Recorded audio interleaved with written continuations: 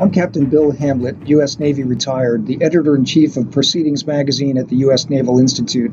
Today I'll be reading from Eric Wertheim's Combat Fleets column in the November 2020 issue of Proceedings titled The Amphibious Assault Plan. China's Yuzhao class Type 071 amphibious transport docks began construction in the mid 2000s and have provided the People's Liberation Army Navy with a solid foundation on which to build its rapidly improving amphibious warfare capabilities.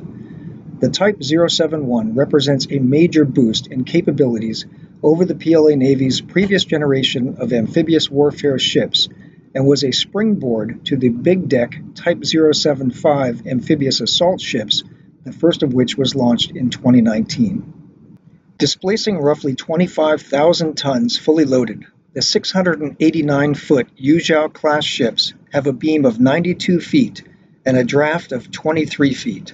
They were built by the Hudong Zhonghua shipyard of Shanghai and are comparable in size and mission to the USS San Antonio LPD 17 class amphibious transport docks. The Type 071 is able to transport and deploy a battalion of 800 PLA Navy Marines plus their equipment and heavy vehicles.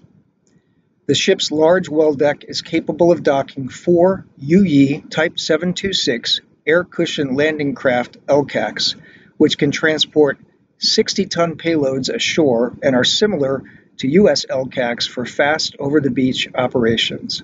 The Type 071 design includes a helicopter flight deck with hangar facilities to house four Z 8 medium transport helicopters.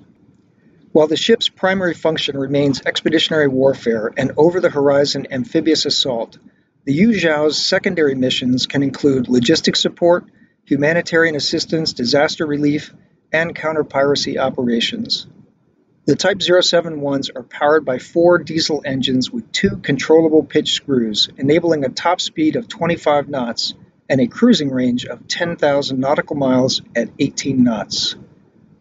The LPDs operate the Type 360 and Type 364 radars for situational awareness, and they are fitted with a single 76mm gun forward and four 30mm six-barrel rotary cannon close-in weapon systems for self-defense.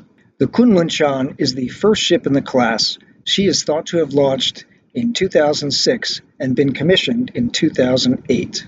A total of eight Type 071s have entered Chinese PLA Navy service.